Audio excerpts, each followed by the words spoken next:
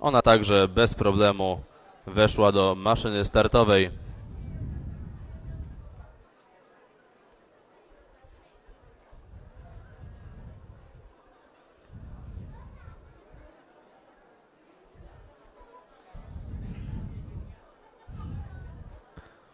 I czekamy już tylko na sygnał do startu. I drzwiczki się otworzyły i wystartowały. Na prowadzeniu jest Sandor, ale to jest bardzo zwarta grupa. Wszystkie konie galopują blisko siebie.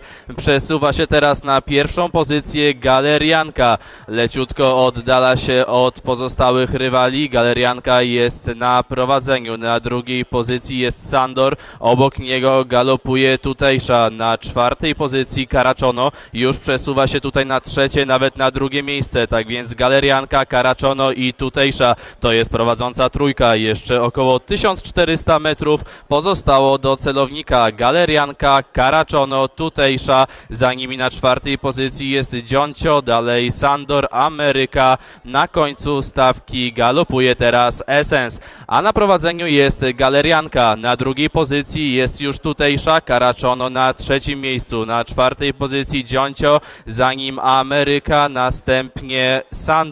Przesuwa się trochę do przodu.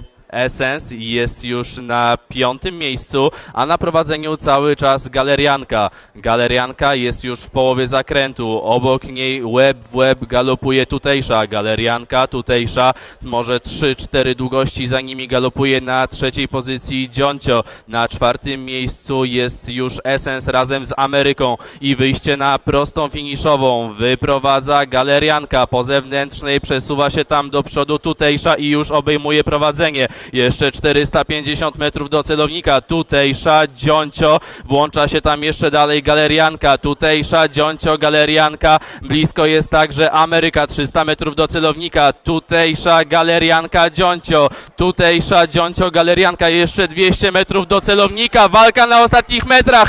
Galerianka, Tutejsza i Dzioncio. Tutejsza, Galerianka, Dzioncio. Walka do ostatnich metrów. Tutejsza chyba wygra. Tutejsza i Dzioncio wpadają razem w celownik. Tutejsza i Dzioncio razem prawie łeb w łeb. Będziemy musieli zaczekać na foto i oficjalny wynik komisji technicznej.